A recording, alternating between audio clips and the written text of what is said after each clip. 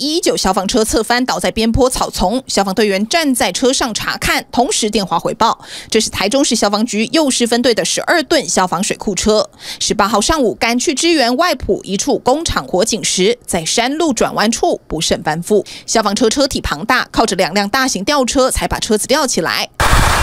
吊高同时，车上储存的水也倾泻而下，但怎么会发生意外？出事地点在大甲成功路要往长生路方向，在靠近铁砧山风景区前这个转弯处，因为消防车体大，回转半径不够，驾驶停车调整方向盘转弯角度，再次下坡起步时，车辆往前左侧翻覆。幸好当时车上两名消防队员没有受伤。不过这一辆消防水库车新车要价六百五十万元，出厂大约一年半，如果维修费用估价超过残值，可能就得报废。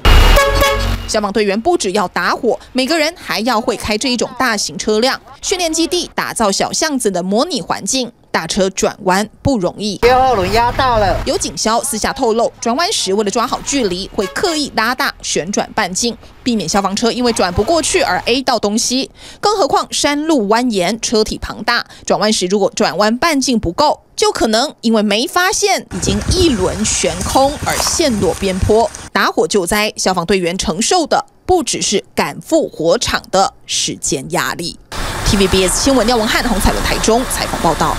请支持专门报道国际新闻的全新 YouTube 频道 TVBS 国际 Plus，扩大视野，掌握趋势。邀请您订阅并且开启通知小铃铛。